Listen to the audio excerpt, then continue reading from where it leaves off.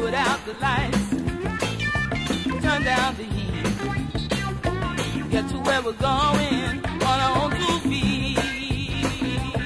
We got to get the situation under control. A little bit of sacrifice for the. If there's too much water in here, they'll never have heat upstairs. If you have- If you have a radiator in your house, you hear this? You ever hear pipes banging from a radiator? That means there's too much water in the system. 102 We have a sweat one. 102000. I wanted to take a draft from these equipment because you need to know that the combustion gases that's burnt is going out to the chimney. And to test the chimney, to make sure it's doing that, you drill a hole from here and take a draft test. This is a smoke gun. Test.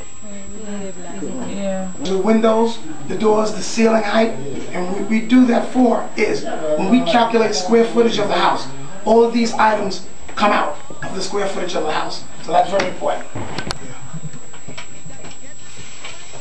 These two floors. That cuts the air, period. There's no air movement. So what we do is we go in the attic cavity, the guys that go inside, they seal around the perimeter of the house and the pipe chases and all the bypasses around the chimney, all of that. That stops all the air movement from in the walls. That's what you want to stop. No insulation. yow xanaa fa la yëreem nekk ak fi fi jaay yëre 74 74. So if the house is 74 and it's set for 74, should the boiler be on? Shouldn't be on. Exhaust fan. Normally, we can say this bathroom is going to be an exhaust fan. So we implement that into our work scope. Then that, in accordance with the amount of people in the house, is important. So part of our audit is to ask, how many people live here? You know, sometimes they can say six, five, four, three. Yesterday we did a house with 11 kids. 11. So we made recommendations for them to have their bathrooms exhausted outside the house. Because you have 10 or more people in the house that's using showers, there's a lot of moisture. And this is going to tell us in the beginning how leaky the house is. This test is also done in the beginning, in the middle, and after everything is done to determine how much effectiveness our air sealing did on the house. We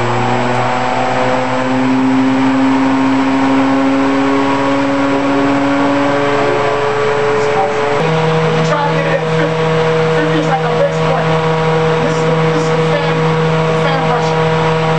This tells how much air movement per minute is moving through the house. So therefore the floor is extremely, extremely cold. So that's something we're gonna have to address.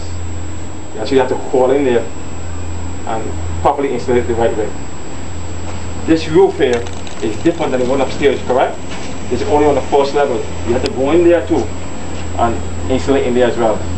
All of these measures made the house much warmer, reduce the energy in the building, save the client money, and hopefully address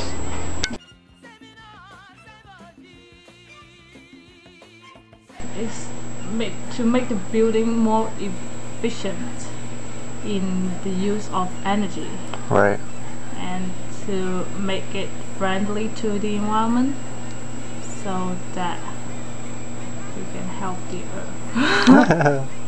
I like that. I like that. Um, and it's totally fresh to me because I saw that, that kind of stuff uh, for the first time Uh huh. and then I think it's fun, but uh, because we assist in uh, fixing the boilers and the heaters, and then uh, we learn something that we don't we didn't know before, but it's uh, closely related to our day life, and then they took care of us, and then they really I, I feel I feel that they really want us to uh, they want to make us feel interested in it, so they try to explain everything in a in an exciting way, Uh huh. so that to um, to help us understand that and uh, feel more interested in it. Teamwork. Teamwork. Yeah. Yeah. You know, uh, because everybody in CEC, they don't, they, I mean, they don't work alone. Uh huh. Every time they go out, uh, it's uh, maybe two or three people together. Even though maybe one, if you change only one household, it doesn't make sense at all. But if you make changes day by day, and then and then when they come together, it will make a huge a difference. We got to put out the lights, turn down the heat, get to where we're going